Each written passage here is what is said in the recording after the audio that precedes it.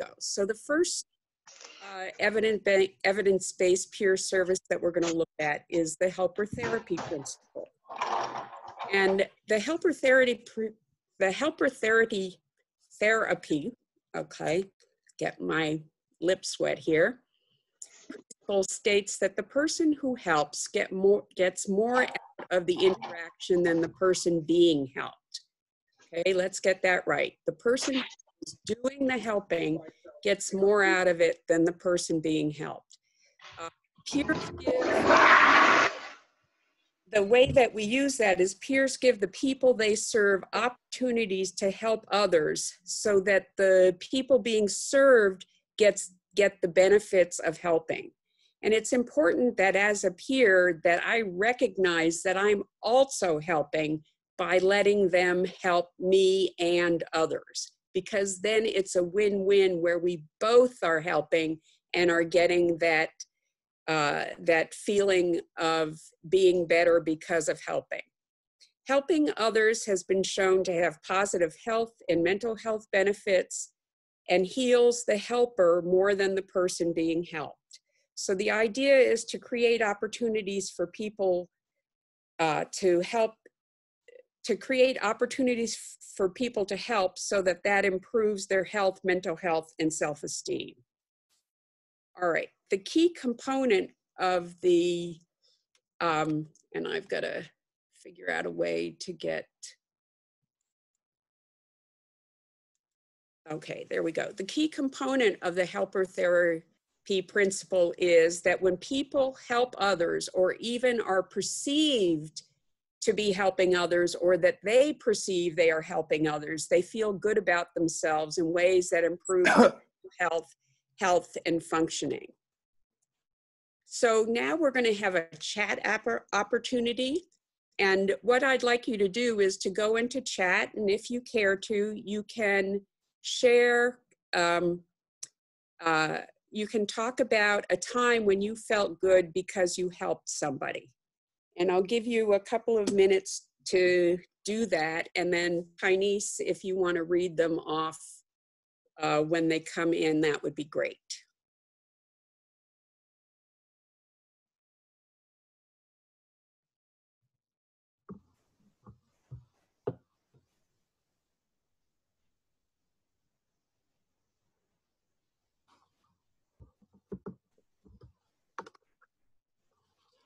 So we have from Roman, I feel good in helping someone um, find appropriate resources in the community.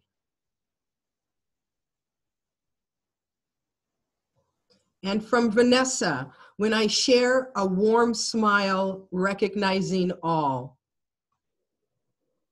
Next, we have I told someone they looked good in their interview clothing.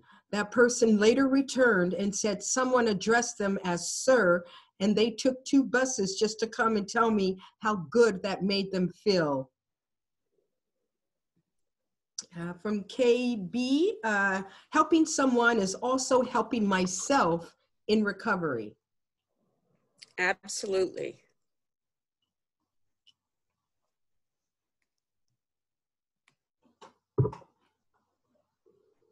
Okay, are there any others or are we done? Okay, sounds like we're done. All right, so what is the evidence for the helper therapy principle? So these are studies that were done and among teens tutoring younger children, the younger children's grades improved with tutoring, but the teen tutors' grades improved even more. So the tutor's grades go way, way up, whereas the person being tutored, their grades go up, but not as high as the person helping. A majority of community health workers felt help, helper benefits, including positive feelings about self, a sense of belonging, and valuable work experience. Um, recovery rates for alcoholics doubled if they were helping other alcoholics and the helper high. Helpers report a distinct physical sensation associated with helping. About half report that they experienced a high feeling. 43% felt stronger and more energetic. 28% felt warm. 22% felt calmer and less depressed. and 21% experienced greater feelings of self-worth. Finally, 13% experienced, experienced fewer aches and pains. So helping helps. So the key question in peer services is, are you letting the person help you or are you encouraging them to help others? So supervisors should be seeing whether or not their peer is finding opportunities for the people they're serving to help rather than doing everything for them themselves. So we have for each of these, we have high and low recovery, and we have many more of these, or we have a few more of these high and low recovery for each one. I've only picked a couple for each uh, each uh, evidence-based best practice.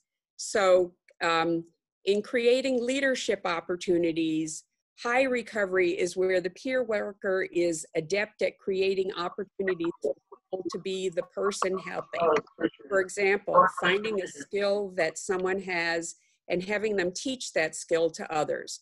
Teaching the person to use Word today and having them train someone else in Word tomorrow.